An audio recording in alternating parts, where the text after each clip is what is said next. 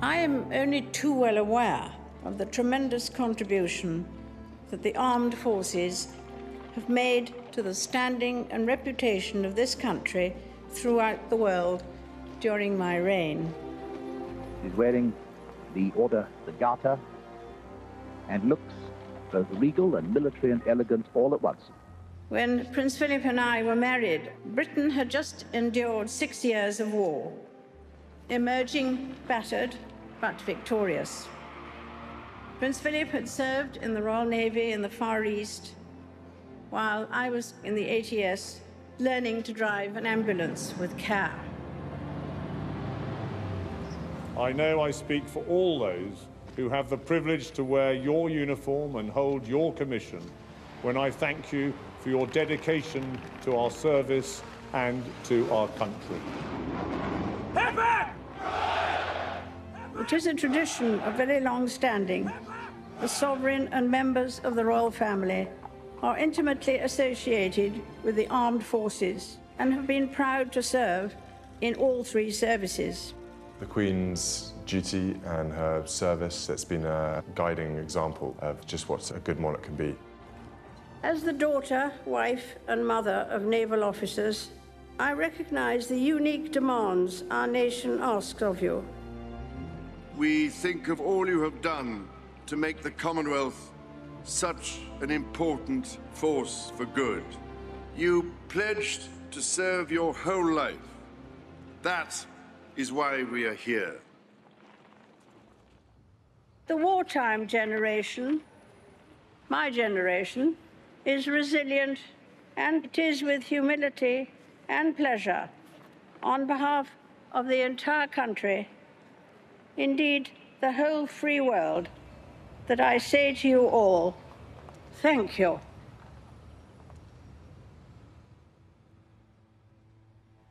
There is another tradition in this country which gives me confidence for the future. That is the tradition of service. The willingness to honour one another and seek the common good transcends social change.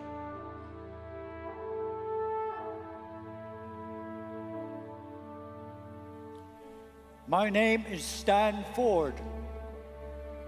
In 1944, I was on board HMS Fratton, supporting the troops on D-Day.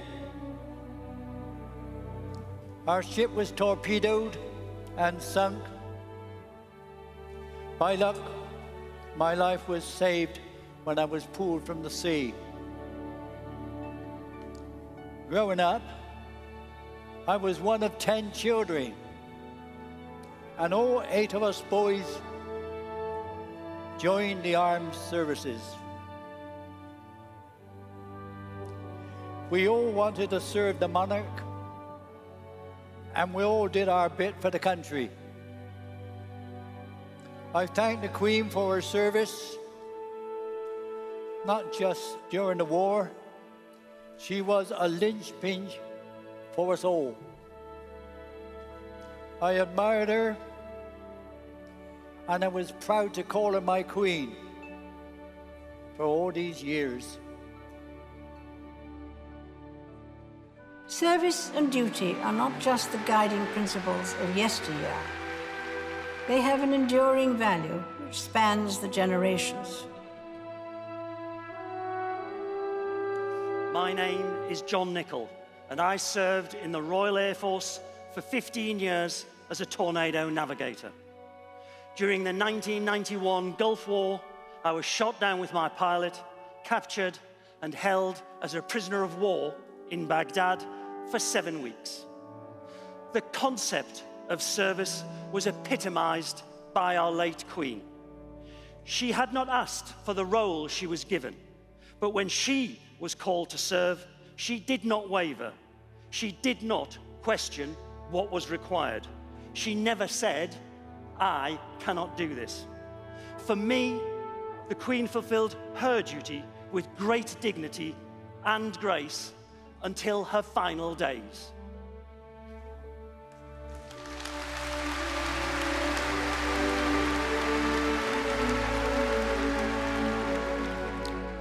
I'm Staff Sergeant Felicia Watkinson, and I've been in the Army for almost 20 years, serving in Belgium, Germany, and Belize.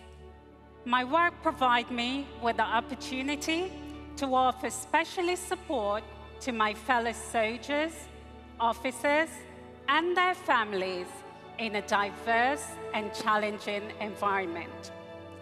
Growing up in Jamaica, the Queen was a powerful role model in a man's world and a symbol of great leadership in the Commonwealth. As I serve the Queen, I will also proudly serve our King and country. I owe a particular debt of gratitude to the many members of the armed forces who have given me and my family their personal support in so many different ways